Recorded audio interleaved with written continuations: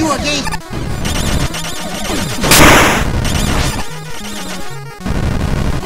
Let's see how you do against Kung Fu